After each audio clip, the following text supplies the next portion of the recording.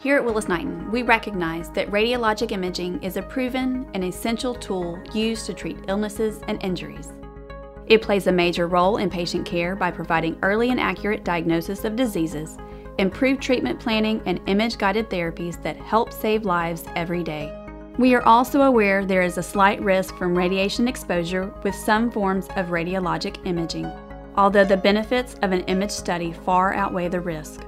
Accordingly, Willis Knighton's Department of Radiology has placed an emphasis on patient safety, including radiation safety. For our patients who require radiologic imaging, we are committed to obtaining quality images while minimizing the risk of radiation exposure.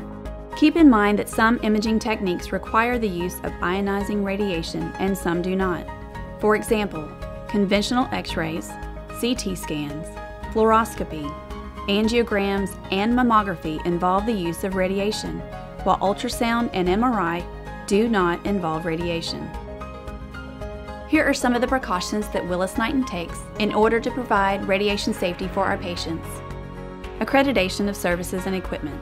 Willis Knighton technologists are licensed by the Louisiana State Board of Examiners, and services are fully accredited by the Joint Commission as well as some equipment having additional accreditation by the American College of Radiology.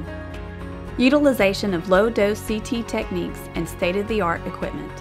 Sophisticated multi slice CT scanning is available throughout Willis Knighton. The 64 slice CT scanner is one of the most advanced available, providing high quality images for increased patient care as well as lower radiation dose to the patient. Our state-of-the-art 128 slice CT scanner provides high-quality images with decreased exam time and the least radiation dose to the patient possible. Utilization of Image Gently and Image Wisely techniques. Image Wisely is a nationwide campaign by the Joint Task Force on Adult Radiation Protection to help reduce exposure to radiation from medical imaging. Willis Knighton subscribes to these procedures and recommendations in an effort to lower the amount of radiation used in imaging and eliminate unnecessary procedures for its patients.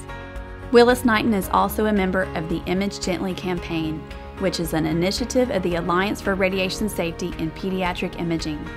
The campaign goal is to change practice by increasing awareness of the opportunities to promote radiation protection in the imaging of children.